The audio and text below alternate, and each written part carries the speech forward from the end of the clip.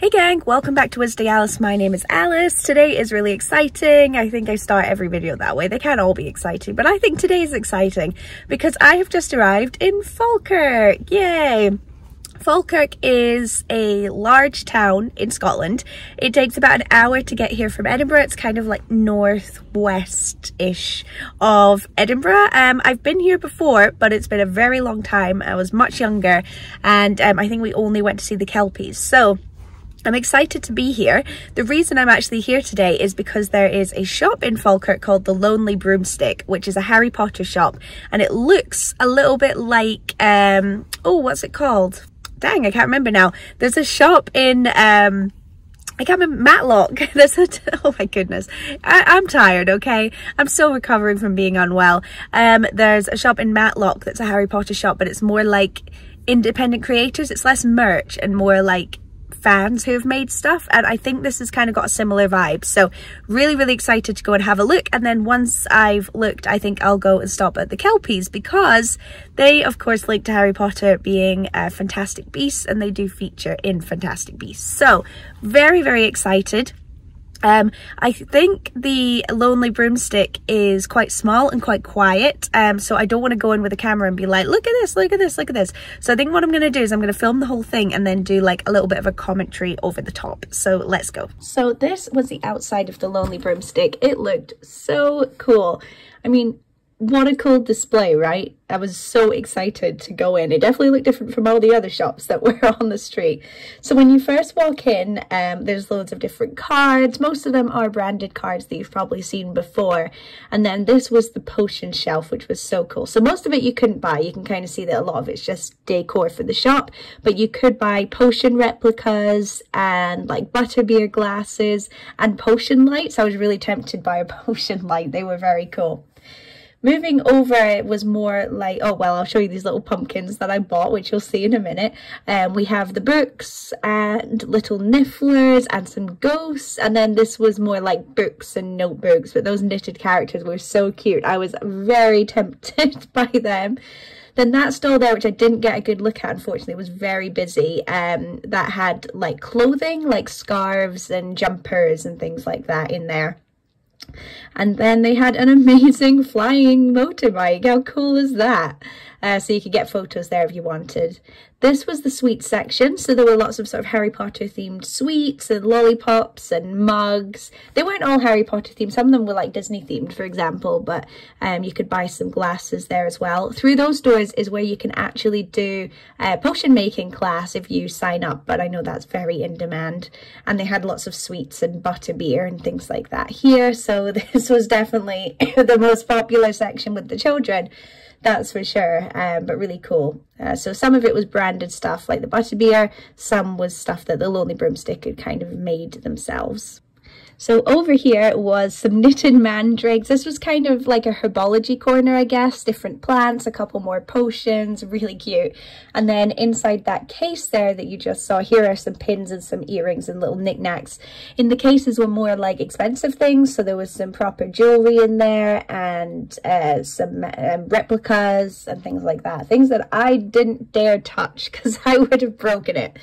Um, and then this was kind of like the dark arts corner. So a couple of sort of uh, dark marked stuff, witchy things, um, what's the word, crystals, you know, that it's got that kind of vibe to it. I really, really liked that corner. And then some more fun earrings and a bunch of candles themed around different foods and things like that. And then we were back to the window display there. So yeah, oh, and they had mystery books, which was really, really fun. So if you like that kind of thing, I think you'd enjoy that section. But yeah, what a cool shop. Guys, that was the best shop ever. Like hands down the best Harry Potter shop I've ever been to that's not like the Harry Potter shop at Warner Brothers. Sorry, my glasses are steaming up. You can probably tell because I've just got in the car. That was amazing. It was so busy when I went in there and I think it's just one of those shops that's always going to be busy because I've got there when it's opened and it was already rammed. You can probably tell by the footage. So um, apologies that you might not get like the best look ever, but hopefully you've got like a general overview of what it is and what it looks like and the kind of stuff that it sells. But I was blown away. It's the first time I've been in a shop and I've literally just wanted to buy every single thing that they sell.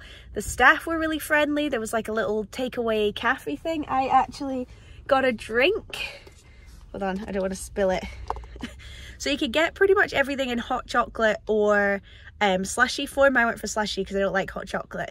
And this is their Polyjuice potion. It's just sour apple and I live my whole life for sour apple. So very happy. It tastes amazing. And I also got quite a big haul. So um, if I can balance the phone in this car, I'll show you now. Okay, couldn't do it, but I'll just hold you guys. So first thing I got, it's not really Harry Potter related, but I just thought it was so cute.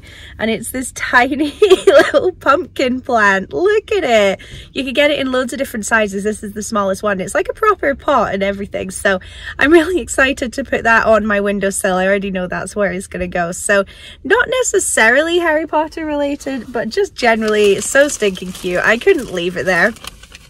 The next thing I got is a gift from my mum because I just thought it was so funny. Oh, that um, pumpkin thing was like around 15 pounds. This was 13 pounds and it's literally, it's a keyring and it's literally just a little mandrake. And I just thought it was so ugly but so cute at the same time. So I got that for my mum because I think she'll find that really funny.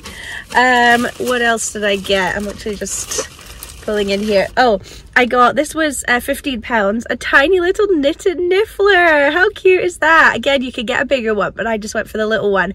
And inside is little knitted coins. Let me see if I can get one out. I mean, is that not the cutest thing you've ever seen? So I don't normally go for a Fantastic Beast merch, but we're having a bit of a Fantastic Beast day and I just couldn't resist. I mean, that is so stinking cute.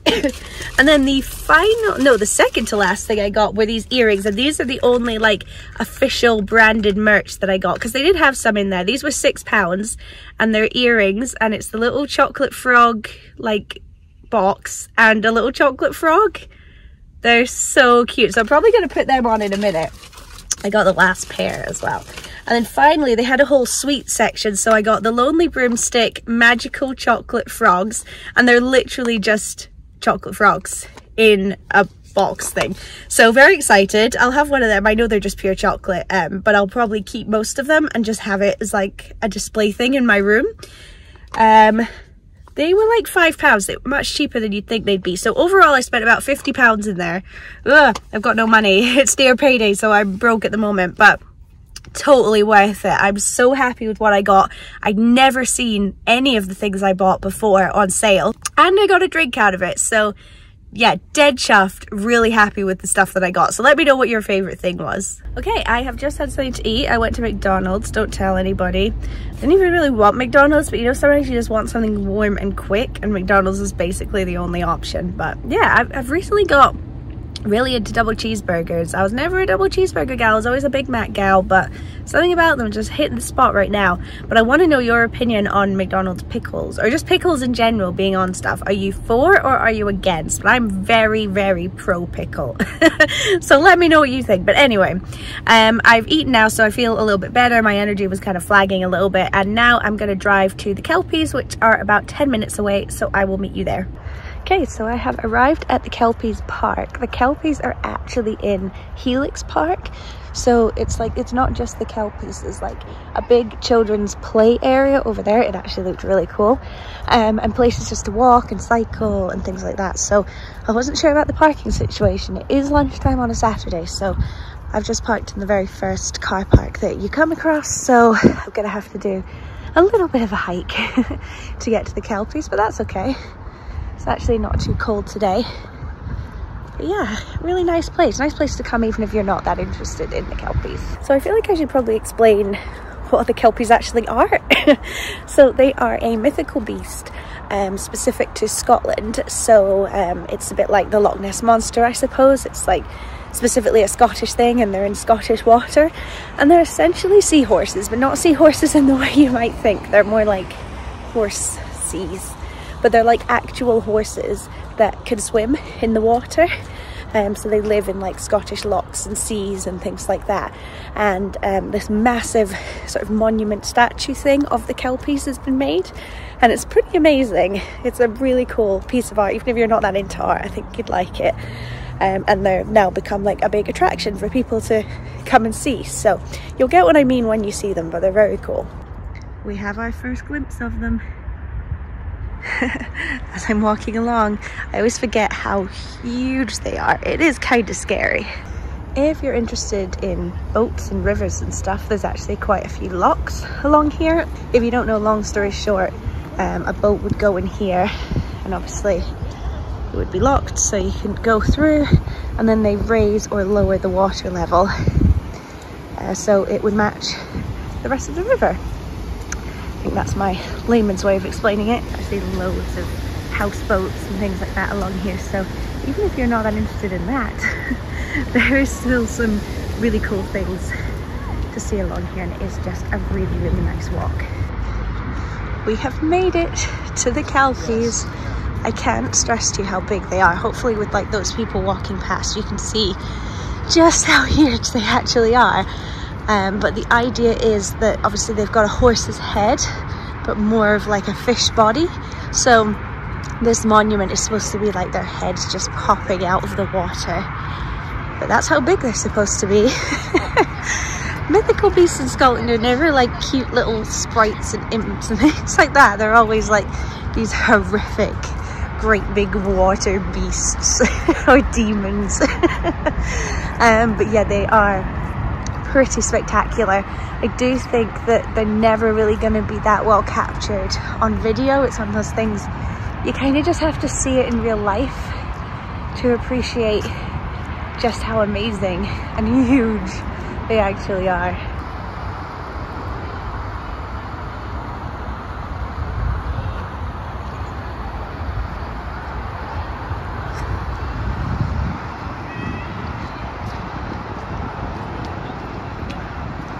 And you'll see they're literally just made of bits of metal pretty sure you can actually go inside them if you want. I think there's a tour going on at the moment because there's someone talking to people in there, but yeah. Huge. Oh yeah, see, tour. But you can go in there. Or do a tour if you want. I'm not going to, but you can. So to get over to the other one, you have to go over another lock. You can see there's actually big sheets of ice in there. I don't know, I'm just not feeling that cold, but it obviously is very cold. Over to the second one. It's actually a little like quote there, stretch up your long necks to face the sun. I'm not sure if that's like from something, but the fact is next to this one makes a lot of sense. And then there's the other one. I just think they're beautiful. I think they're so cool. I like anything that's like, oh, oops, my fingers are always in shot.